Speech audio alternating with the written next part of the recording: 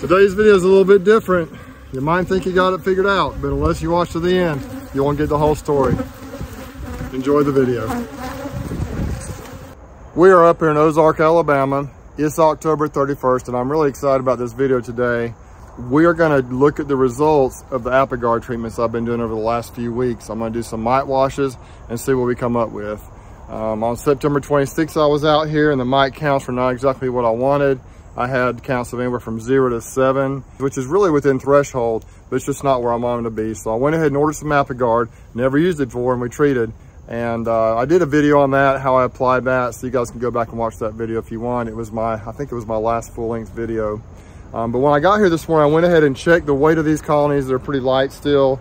And so I put some food out for them. It's just right up there and the bees are already checking it out. I'm just trying to open feed them, get some weight on these colonies. But once again, the main objective of this video today is to check uh, for mites today and see how they're looking.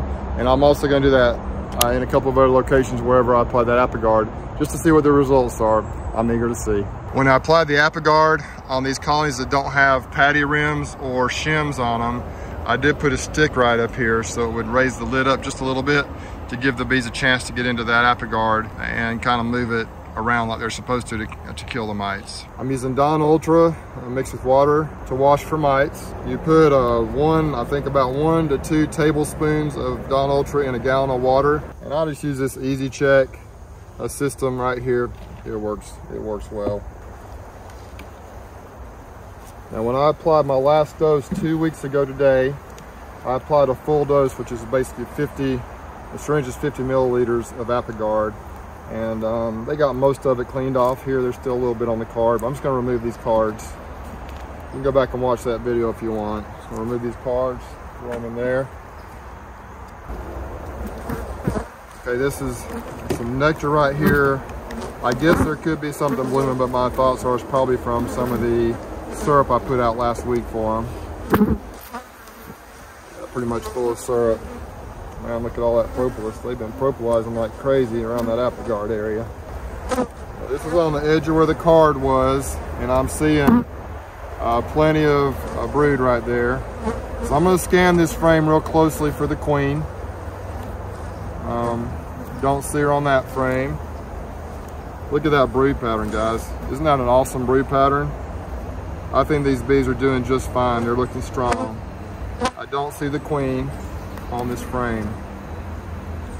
So what I'm gonna do, I'm gonna shake them into this bin right here. Now the bees will, there'll be a lot of bees flying around. The foragers will go right back into the colony, but the nurse bees will stay in the bin here. And those are the ones I'll use for the mite check. I'm looking real closely one more time for a queen I don't see. We're gonna shake them in here.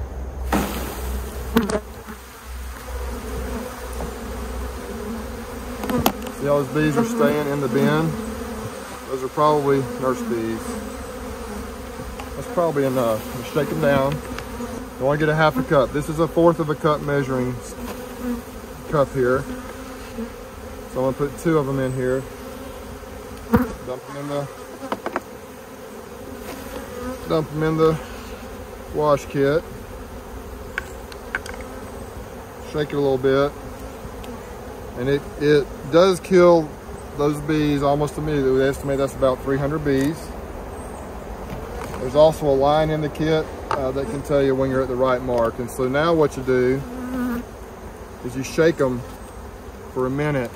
Found that if you swirl them, it may work a little better, with this Dawn especially.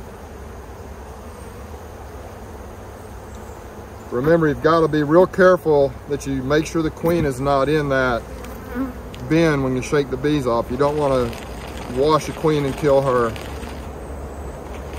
The best way to do is to actually find her and set her aside, but I looked pretty closely, I didn't see her. So let me shake these for a minute and we'll see what the results are. Okay, let's see what the results are. Let's walk out here in the sun where we can see better.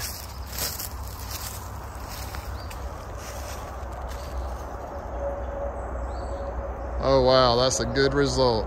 Zero mites. A couple little pieces of dirt or grass, but no mites. That's a good start. We'll just go ahead and look into the in this one that has one of Greg's queens in it from Nature's Image Farm.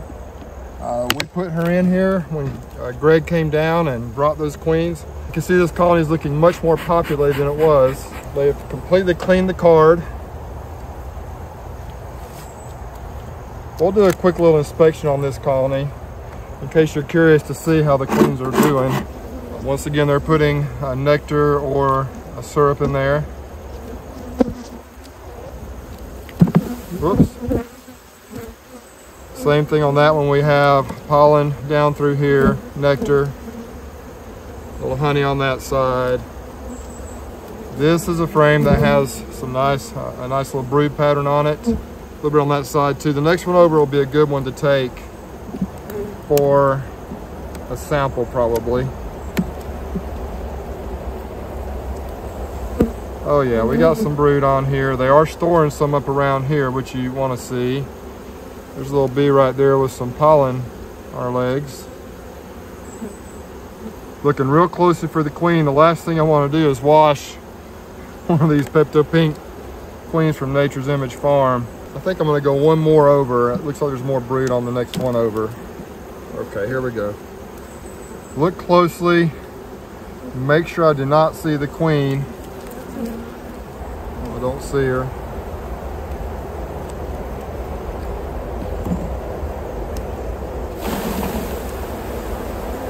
Now look in here as well. Lots of times they'll stand out if there's a queen in there.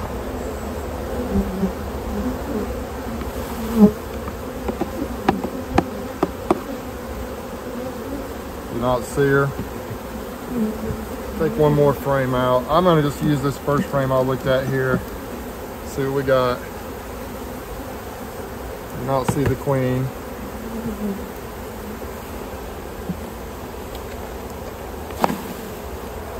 That's more than enough. Quarter cup. Quarter cup. Put the lid on here and then we'll continue on with our inspection for a minute. Then we'll look and see what the mite count is. What am I gonna do with the rest of these bees? I'll just kind of shake them back into the colony like this. Let's go one more frame over, see if we see the queen or how it looks, and then we'll close it up. They're quite calm, uh, which is what I was hoping for. And down this area right here, I see a lot of what we call milk brood. Milk brood to me is the brood, basically the brand new larva right after they've emerged, uh, before they become mature larvae. And you can kind of see down the bottom of some of those cells. I'm not sure how well you can see, but it's kind of milky looking. And uh, that's why I call it milk brood. One more, why not, while we're at it. They seem to be building the small patches of brood on most of the frames that I've looked at here in the back corner. Um, they're reserving the front area for more storage. And so I fully expect these bees to brood back significantly going into winter. Uh, that's what these Caucasian slash Carniolan bees do. It's actually not a bad thing uh, because the bees are able to preserve their food stores more. Attitude's pretty good.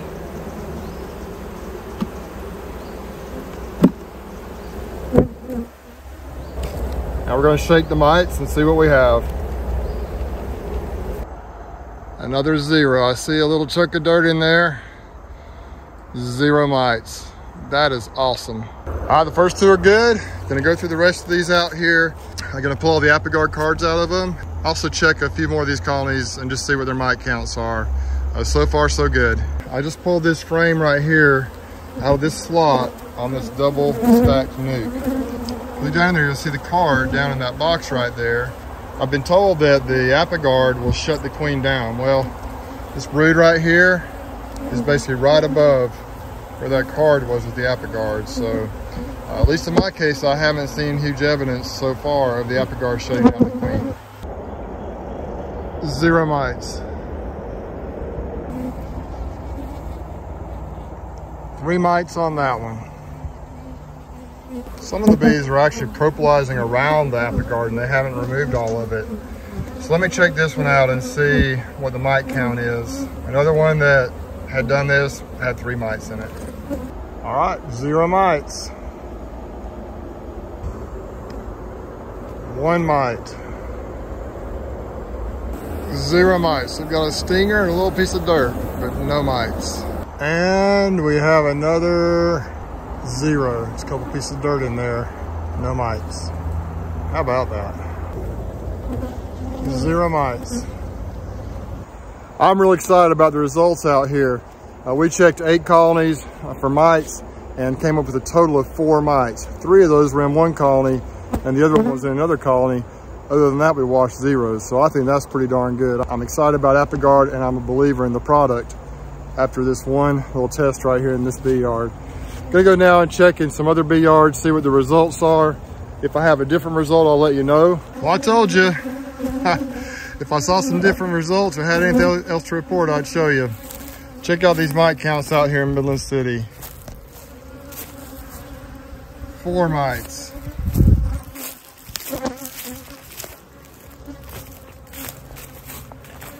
Zero mites, not too bad so far. 10 mites, ugh. Zero mites.